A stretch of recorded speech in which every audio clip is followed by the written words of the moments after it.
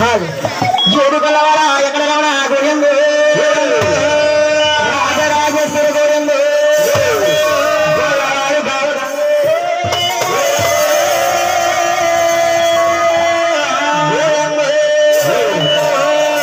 ಹಾಗೆ ಹಾಗೆ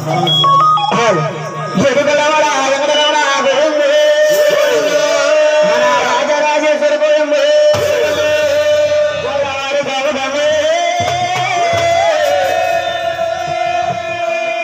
ಗೋವಿಂದ